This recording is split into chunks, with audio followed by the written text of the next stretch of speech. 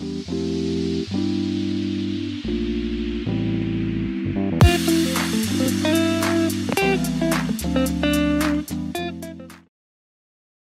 grade 11. Welcome back. Unit 3 Early to Bed and Early to Rise. Right, today we're going to do listening to, and I'd like you to open your textbook and go to page 59. Yeah, listening to Get Back in Bed. Okay, our vocabulary for today we have accumulate, fatigue, get cranky, make something a priority, and touch on.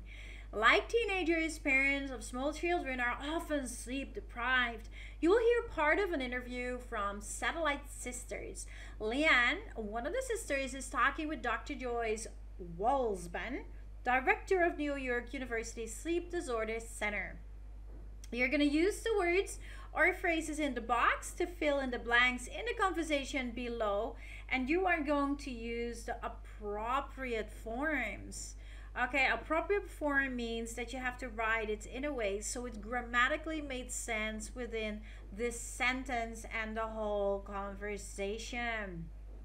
Okay, so what we're gonna do right now is you're going to try to put it in just to get an idea of uh, what how the words are used in context of this talk.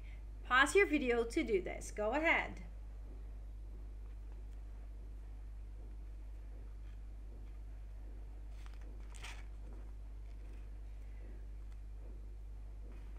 Okay, that brings us uh, to the audio. Let's listen to the interview, and I want you uh, to circle the correct answers. You're going to answer these questions. Now, before you do that, remember to annotate first on all the keywords in the questions and the answer choices.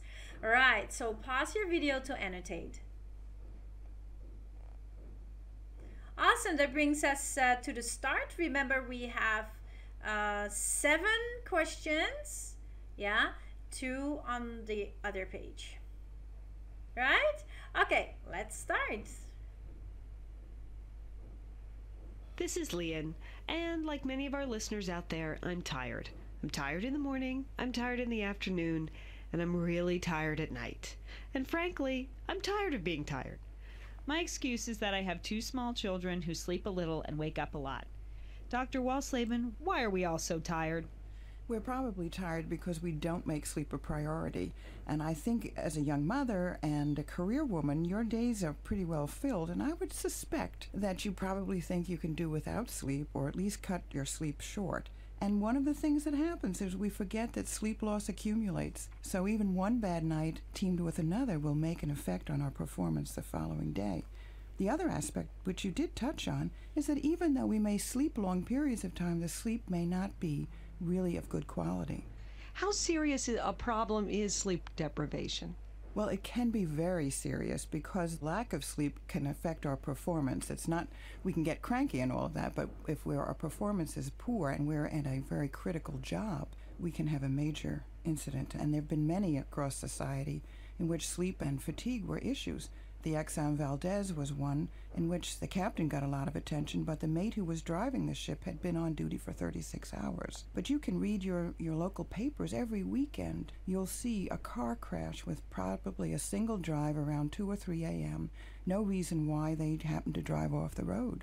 And we all believe that that's probably a short sleep event that occurred when they weren't looking for it. Dr. Walsleben, I know how the sleep deprivation affects me. By the end of the day with my children, I'm tired and cranky. I'm not making good parenting decisions. I uh, don't have a lot to give my husband when he comes home. And then I just feel too tired to exercise. So I think, oh, I'll eat or I'll have a big cup of coffee and that will give me the energy that I don't have naturally. Are these pretty common effects of sleep deprivation amongst your patients? They're very common, and so many people accept them I would even say by Friday afternoon, I'm afraid to get behind the wheel of a car because I just feel like I am not a safe driver on the road. That's how tired I am by Fridays. I think it's great of you to have recognized that, and that's a real major concern for most of America's workers. By Friday, everyone seems to be missing probably five hours of sleep. Okay, please take some time to answer the questions, or in the case you already have, to check them. Go ahead. That brings us to the listening skill of recognizing supporting details. Yeah, we remember we have the main points uh, that are the development of the subtopic. The subtopic, which is the topic sentence mostly in the text, would be the development of the of the general main idea, which is uh, introduced in the introduction. Now, in order to develop the main points, we use supporting details. Like writers, speakers state main ideas and offer supporting details. They sometimes speak in oral paragraphs, you know, like you kind of can imagine the paragraphs, especially when they want to inform or persuade. In this interview, the intention of the speakers to do is to do both, to inform us about the problem, but also to persuade us that the problem is serious Listen for supporting details that prove the validity of the speaker's point. Okay, we're going to listen to this uh, example. Dr. Walsleben, why are we all so tired? We're probably tired because we don't make sleep a priority. And I think as a young mother and a career woman, your days are pretty well filled. And I would suspect that you probably think you can do without sleep. Okay. Dr. Uh, um, idea is we don't make sleep a priority. She supports this main idea with four reasons why Liam probably doesn't make sleep a priority. Right? Um, she's a young mother, she's a career woman, her days are filled, she thinks she can do uh, without sleep. In this example, the main idea and details are linked in the oral paragraph by two connecting phrases. And I think and I would suspect. And I think you see here and here I would suspect. So the main point is that everybody's so tired all the time and these are the details that support it basically. Great. Now we're to try this one out. You're to listen to excerpts one and two. Uh, read the main, main idea. So the main idea is already written down for you. You just have to listen for the supporting details that are connected or identify that main uh, point. Now, the first one, sleep deprivation can be very serious because lack of sleep can affect our performance. And Dr. Walsleben supports the main idea with examples of two different types of accidents. Two different types of accidents. Okay, what are these? Try to listen for that. Let's go. The Exxon Valdez was one in which the captain got a lot of attention, but the mate who was driving the ship had been on duty for 36 hours. But you can read your, your local papers every weekend. You'll see a car crash with probably a single drive around 2 or 3 a.m. No reason why they happened to drive off the road. And we all believe that that's probably a short sleep event that occurred when they weren't looking for it. Okay, go ahead and answer. That brings us to the second excerpt. The main idea is sleep, de- uh, sleep deprivation uh, affects us a lot. Lian supports her main idea with details from her own life, and I want you to complete the list of what she's mentioning. The first one is done for you. She is tired and cranky. Okay, let's listen. Dr. Walsleben, I know how the sleep deprivation affects me. By the end of the day with my children, I'm tired and cranky. I'm not making good parenting decisions. I uh, don't have a lot to give my husband when he comes home, and then I just feel too tired to exercise. Exactly. Please write down the things you heard. awesome. That brings us to the last part of today's lesson, which is connecting the listening. So we're basically looking at information we got from listening one and from listening two, trying to connect the dots and from there come to a conclusion or justification and um, use that in order to yeah to do something with it. So the first step is organizing. So you're going to use the information from listening one, which is about teenagers, and then listening to which is about the parents of young children and you're going to fill out this chart so now we're looking at this chart. We've got these topics of teenagers and parents of young children but then we're going to look at the subtopics. So in regards to these two major topics we're, we're listening for causes of sleep deprivation symptoms of sleep deprivation and recommendations from professionals for both cases. You're going to note that down and then we can see how all of that connects together okay?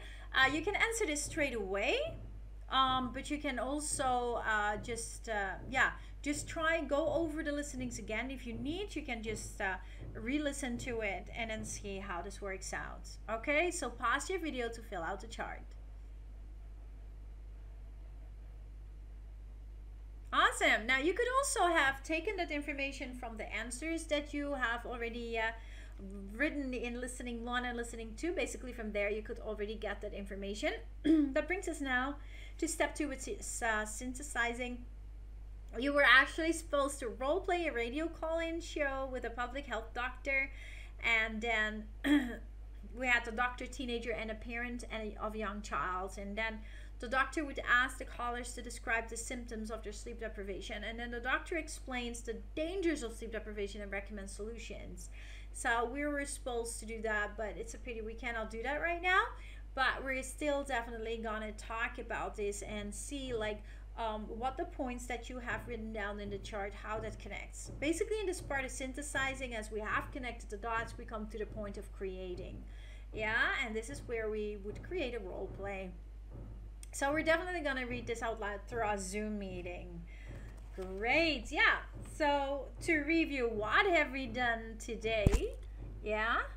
That brings us to the beginning of the vocabulary where we um, looked at the bold-faced words, right?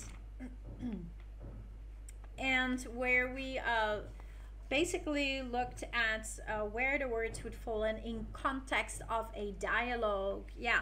Then we uh, did a listening comprehension to listen really uh, to answer questions. And then we went over the listening skill recognizing supporting details as in listening knowing the main point but then kind of being able to catch the details in an audio. Last we connected the dots of listening one and two in order to create uh, actually role play which certainly we cannot do Thank you very much for today. You guys are amazing. God bless you, and I will see you soon. Bye bye.